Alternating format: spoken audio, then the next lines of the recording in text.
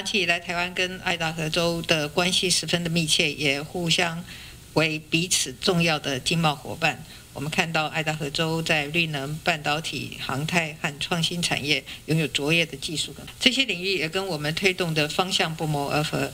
那么这几年来，呃，台湾的政府积极的推动六大核心战略产业，也持续的加强产业的韧性以及国际供应链的安全。我们也乐见总部在爱德德州的美光生技、美光科技近期宣布加码投资台湾，继续扩大台湾分公司的规模跟人力。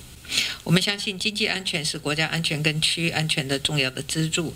台湾有能力也有意愿加强和民主伙伴之间的合作，共同维护我们的生活方式，一起打造民主晶片的永续供应链。我也要谢谢李瑞德州长长期在国际场域为台湾发声。